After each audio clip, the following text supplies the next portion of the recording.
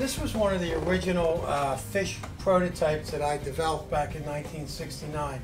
As you notice, it has a square tail and hard rails. At that time, I really didn't realize that we could use a swallowtail. Some of the designers at that time, like Steve Listener, came up with a swallowtail. I thought maybe trying a, a square tail with a double fin system would be good.